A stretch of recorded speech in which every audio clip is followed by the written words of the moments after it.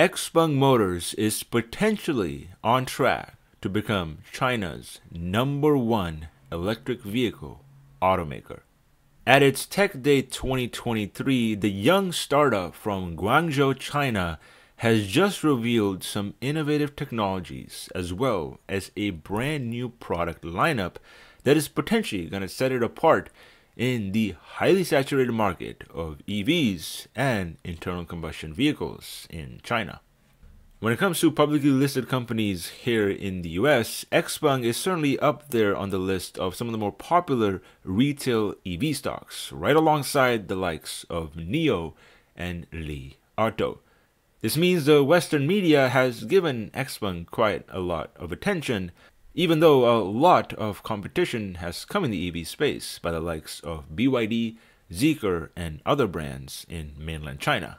And yet, folks, although sales for 2022 for the company were very dismal and quite poor in the macroeconomic recession that the country faced, as well as heightened competition, Xpeng is starting to put itself back on track to becoming potentially the real Tesla of the Chinese market. As cliche as that sounds, folks, there's real merit for why this might be happening for Xpeng motors. Not only is China the biggest auto market on planet Earth, but in many ways, China is a world of its own. There's so many segments, customers, and technologies that are only sold in China, which means companies that take advantage of the extremely sticky customer base within the country can gain a lot of revenue and market share because of the insane nature the Chinese government and its cyclical nature operates. Chinese consumers have high savings and low debt compared to what we have here in the Western states. This means Chinese consumers are much more inclined towards buying products that provide a good value, particularly with high margin, like on the software side of things. And this right here, folks, is how Xpeng is starting to set itself apart with its launch of new software autonomous driving features, a flying car platform, as well as new products in various different segments. For those unfamiliar, Xpeng came on the blog as an EV startup in 2015, founded by a billionaire CEO who made a lot of success selling software in his past career. Since then, Xpeng has launched a few new models every couple of years, consistently making sure they're targeting a new audience with each vehicle that they launch, essentially testing out the waters with something like the crossover market with the G3i, the high performance sedan market with something like the P7, and then the mid-size SUV market with something like the Xpeng G9. And although a few of those vehicles turned out to be flops because of marketing missteps from Xpeng Motors as well as a poorly launched production ramp, there is still more than just one leg for Xpeng Motors to apparently stand on. And that just so happens to be because of Xpeng's latest launch of the X9, which is their very first multi purpose vehicle. For those in the West, the X9 is a minivan like no other. In China and in many Asian communities, MPVs are much more popular than minivans, especially where in Europe minivans are not even sold on a large scale.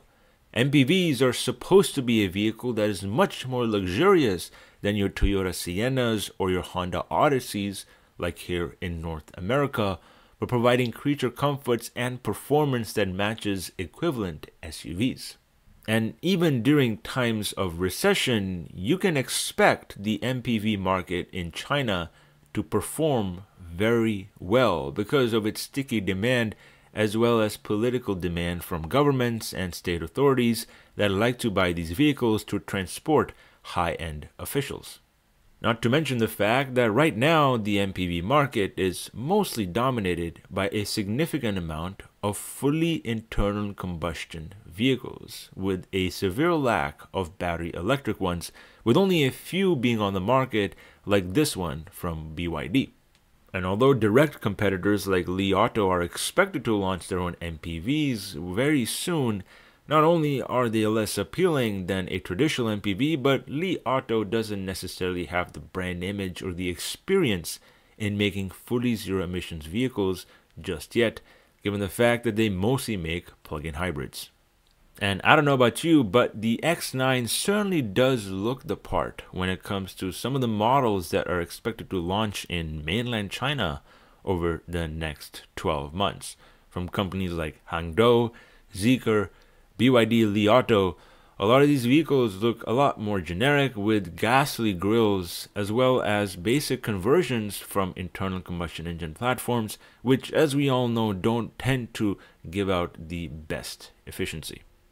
And guess what? Not only does XPeng now have the backing of Volkswagen with a 5% stake in the company to launch new products in China as well as in Europe,